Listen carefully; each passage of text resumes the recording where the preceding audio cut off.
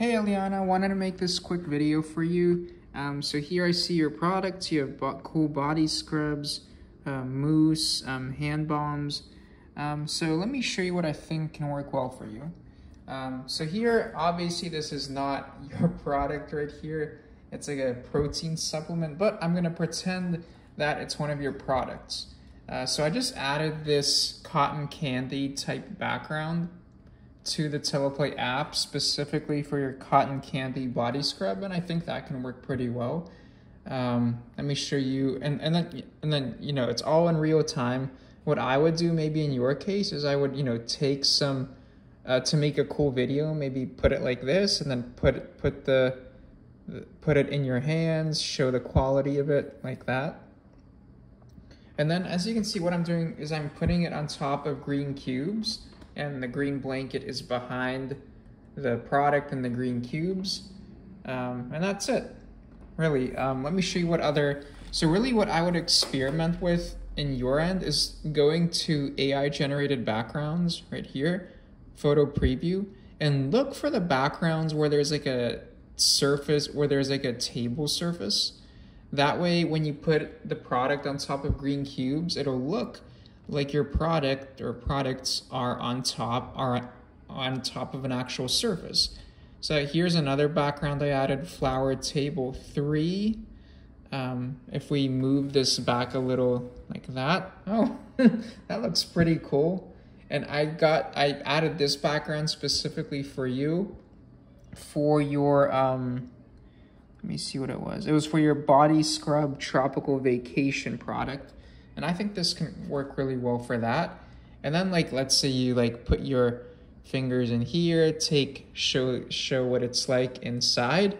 And then, you know, you can add cool foreground effects like, uh, let's see. I'd maybe go to the plants and flowers has a lot of cool natural looking effects. Uh, for example, like these aren't really animated effects, but can still work well.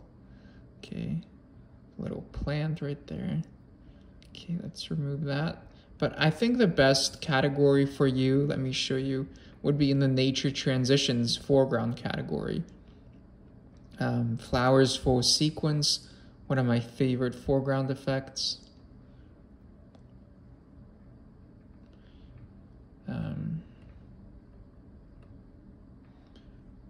A lot of these uh, flower see falling flower scenes can work really well. I feel spring 13.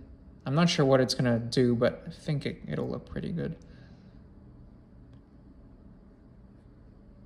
Oh, hello. That looks pretty cool.